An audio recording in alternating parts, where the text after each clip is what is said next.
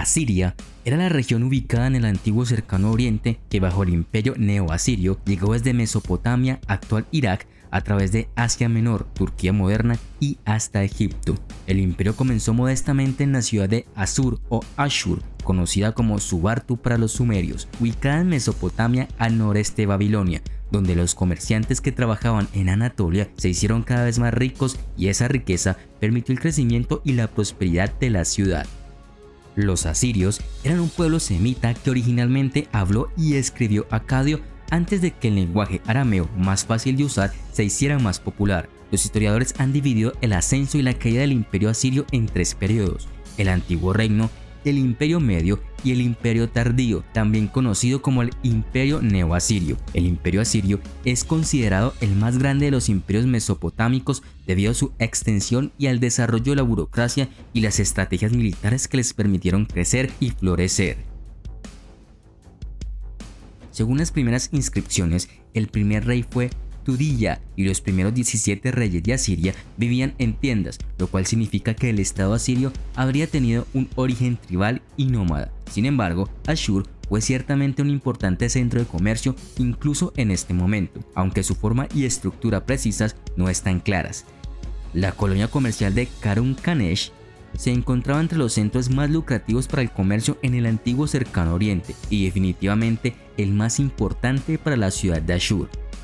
La riqueza generada por el comercio en Karun Kanesh proporcionó a la gente de Ashur la estabilidad y seguridad necesarias para la expansión de la ciudad y sentó las bases para el surgimiento del imperio. El comercio con Anatolia fue igualmente importante para proporcionar a los asirios materias primas con las que pudieron perfeccionar la artesanía del hierro. Las armas de hierro del ejército asirio demostrarían una ventaja decisiva en las campañas que conquistarían toda la región del cercano oriente. Sin embargo, antes de que eso pudiera suceder, el panorama político necesitaba cambiar. Las personas conocidas como los Urritas y los Hati dominaban la región de Anatolia y Ashur, al norte de Mesopotamia. Permanecieron a la sombra de estas civilizaciones más poderosas. Además de los Hati, habían personas conocidas como los amorreos que se establecían constantemente en el área y adquirían más tierras y recursos. El rey asirio Shanshi Adad I expulsó a los amorreos y aseguró las fronteras de Asiria, reclamando a Ashur como la capital de su reino. Los Hati continuaron siendo dominantes en la región hasta que fueron invadidos y asimilados por los hititas en el 1700 a.C. Los amorreos fueron un poder creciente en Babilonia durante al menos 100 años cuando el rey amorreo llamado Sin Mubalit tomó el trono en el 1792 a.C. Su hijo el rey Hammurabi ascendió para gobernar y subyugar las tierras de los asirios. Alrededor de esta misma época, el comercio entre Ashur y Karun Kanesh terminó, ya que Babilonia ahora saltó a la fama en la región y tomó el control del comercio con Asiria. Poco después de la muerte de Hammurabi en 1750 a.C., el imperio de Babilonia se vino abajo. Asiria intentó nuevamente ejercer el control sobre la región que rodeaba a Ashur, pero parece que los reyes de este periodo no estaban a la altura. La guerra civil estalló en la región y la estabilidad no se recuperó hasta el reinado del rey asirio Adasi. Adasi pudo asegurar la región y sus sucesores continuaron sus políticas, pero no pudieron o no quisieron participar en la expansión del reino. El vasto reino de Mitanni surgió del área del este de Anatolia y ahora tenía el poder en la región de Mesopotamia.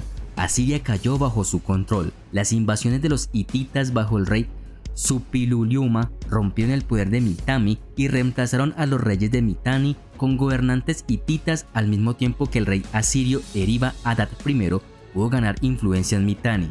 Los asirios ahora vieron una oportunidad para afirmar su propia autonomía y comenzaron a expandir su reino hacia afuera de Ashur a las regiones que anteriormente tenían los Mitanni. Los hititas contraatacaron y pudieron mantener a raya a los asirios, hasta que el rey Ashur Ubalid I derrotó a las fuerzas Mitanni restantes bajo los comandantes hititas y tomó porciones significativas de la región. Le sucedieron dos reyes que mantuvieron lo que se había ganado, pero no se logró ninguna expansión hasta la llegada del rey Adad Nirari I, que expandió el imperio asirio al norte y al sur, expulsando a los hititas y conquistando sus principales fortalezas. Con Mitanni bajo control asirio, Adad-Nirari decide que la mejor manera de evitar cualquier levantamiento futuro era eliminar a los antiguos ocupantes de la tierra y reemplazarlos por asirios. Aquellos segmentos de la población que habían resistido activamente a los asirios fueron asesinados o vendidos como esclavos, pero las poblaciones en general se vieron absorbidas por el creciente imperio y fueron consideradas asirias. Su hijo y sucesor, Shalmaneser I, completó la destrucción de los Mitami y absorbió su cultura. Shalmaneser continuó las políticas de su padre, incluida la reubicación de las poblaciones, pero su hijo Tulkulti-Ninurta fue aún más lejos. Tulkulti-Ninurta I también estaba muy interesado en adquirir y preservar el conocimiento y las culturas de los pueblos que conquistó y desarrolló un método más sofisticado para elegir qué tipo de individuo o comunidad se reubicaría y en qué ubicación específica. Los escribas y eruditos, por ejemplo, fueron elegidos cuidadosamente y enviados a centros urbanos donde podían ayudar a catalogar obras escritas y ayudar con la burocracia del imperio. Derrotó a los hititas en la batalla de Nirilla en el año 1245 a.C., que efectivamente puso fin al poder hitita en la región y comenzó el declive de su civilización. Cuando Babilonia hizo incursiones en territorio asirio, Tulkulti-Ninurta castigó severamente la ciudad saqueándola, saqueando los templos sagrados y llevando al rey y una parte de la población de regreso a Ashur como esclavos. Su profanación de los templos de Babilonia fue vista como una ofensa contra los dioses, ya que los asirios y los babilonios compartieron muchas de las mismas deidades, y sus hijos y funcionarios de la corte se rebelaron contra él por poner su mano sobre los bienes de los dioses. Fue asesinado en su palacio, probablemente por uno de sus hijos, Ashur Nadin Apli, quien luego tomó el trono. Tras la muerte de Tulku-Ninurta I, el imperio asirio cayó en un periodo en el que no se expandió ni disminuyó. Todo esto cambió con el ascenso de Tiglat-Pileser I al trono. Este revitalizó la economía y el ejército a través de sus campañas, agregando más recursos y poblaciones calificadas al imperio asirio. La alfabetización y las artes florecieron, El ascenso del rey Adad-Nirarit II trajo el tipo de avivamiento que Asiria necesitaba. Adad-Nirarit II reconquistó las tierras que se habían perdido, incluidas Ebernari, y aseguró las fronteras. Los arameos derrotados fueron ejecutados o deportados a regiones dentro del corazón de Asiria. También conquistó Babilonia, pero aprendiendo de los errores del pasado, se negó a saquear la ciudad y en cambio firmó un acuerdo de paz con el rey en el que se casaron con las hijas de los demás y prometieron lealtad mutua. Su tratado aseguraría a Babilonia como un poderoso aliado, en lugar de un problema constante durante los próximos 80 años. Los reyes que siguieron a Adad-Nirarit II continuaron las mismas políticas y expansión militar. Tukulti-Ninurta II expandió el imperio hacia el norte y ganó más territorio hacia el sur en Anatolia, mientras que Ashurnarsipal II consolidó el gobierno y extendió el dominio asirio a través de Canaán. Su método más común de conquista o a través de una guerra de asedio comenzaría con brutales asaltos a las ciudades. Los avances en la tecnología militar no fueron la única contribución, ni siquiera la principal de los asirios, ya que durante este mismo tiempo hicieron un progreso significativo en la medicina, construida sobre la base de los sumerios. El imperio fue revitalizado por Tiglat-Pileser III, que reorganizó el ejército y reestructuró la burocracia del gobierno. Llevó a cabo amplias reformas del ejército reafirmó el control central sobre el imperio, reconquistó la costa mediterránea e incluso subyugó a Babilonia. Reemplazó el servicio militar obligatorio con una tasa de mano de obra impuesta a cada provincia y también exigió contingentes de los estados vasallos.